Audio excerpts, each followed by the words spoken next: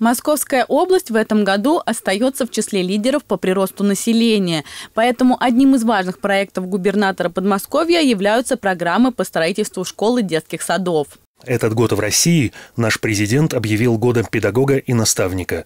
Мы реализуем в Подмосковье большие программы. У нас обучаются 1 миллион 40 тысяч детей, и 1 сентября ждем прибавления. Еще 40 тысяч школьников плюс 20 тысяч дошколят. В этом году построим 27 школ на 18 тысяч мест, 13 детских садов более чем на 3,7 тысяч мест. В системе образования Одинцовского округа функционирует 32 комплекса, в том числе три школы для детей с особенностями здоровья. В январе этого года начали работу два детских сада в Кубинке и Гусарской Балладе, где возводят и самую большую школу в Подмосковье. Сейчас у нас готовится к открытию 1 сентября еще два сада. Это сад на 300 мест в Немчиновке и садик на 400 мест в Трехгорке. И плюс еще у нас откроются 4 школы. Это школа в Гусарской Балладе на 2200 мест, это школа в Немчиновке на 550 мест, это пристройка к 14 гимназии на 500 мест и пристройка к 8 школе для обучающихся школ «Надежда» на 200 мест. Капитальный ремонт учреждений образования – одно из основных направлений в округе, по которым идет постоянная работа. По президентской программе образования в прошлом году уже отремонтировали Введенскую школу в Звенигороде. В этом работы идут во второй Кубинской школе. Также ремонт начат еще в трех образовательных учреждениях. Самыми крупными комплексами стали Центр «Флагман» в Трехгорке, школа номер три в Одинцове и Лесногородская школа. Основной главной задачей для школы в предыдущем учебном году было, конечно же, зайти а, в зеленую зону.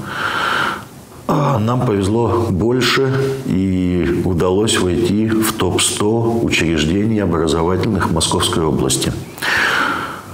Конечно же, ученики дали и внесли огромный вклад для того, чтобы школа вошла в зеленую зону. Кроме того, в муниципалитете реализуется много федеральных и региональных проектов.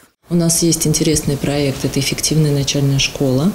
А, то есть дети вместо четырех лет обучаются три года. У нас этот проект реализуется как раз во флагмане. У нас есть проект для начальной школы, это школа полного дня. А, там, где дети могут находиться с утра и до 6-7 вечера. Ну, тоже такая школа у нас открыта, вот такие классы открыты а, в третьей школе и в Квантуме открыты такие классы в Звенигороде. Один из успешных проектов – открытый школьный стадион. Он позволяет пользоваться всем жителям инфраструктуры образовательных учреждений. На данный момент функционирует уже 24 стадиона. В этом году планируется открыть еще 5.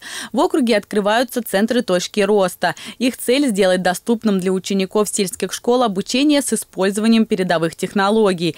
Также по программе губернатора Московской области в густонаселенных микрорайонах округа открыты полисадики. Полисадики – это очень интересная программа губернатора Московской области, на самом деле, которая э, очень выручила округ, потому что не всегда возможно построить садик. У нас э, достаточно некоторые районы густо населены, густо заселены, э, и получается, что нет пятна застройки, где бы можно было построить сад. И вот эта вот программа «Полисадики», она позволила нам предоставить места, снизить очередность э, в наши детские сады полисадиках идет полноценный образовательный процесс. С ребятами, как и в обычных детских садах, работают квалифицированные педагоги.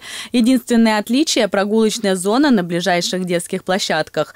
Одними из самых востребованных в округе остаются полисадики в Трехгорке, Звенигороде и в Одинцове на улице Северная. Екатерина Крамер, Илья Павлов, телекомпания «Одинцова».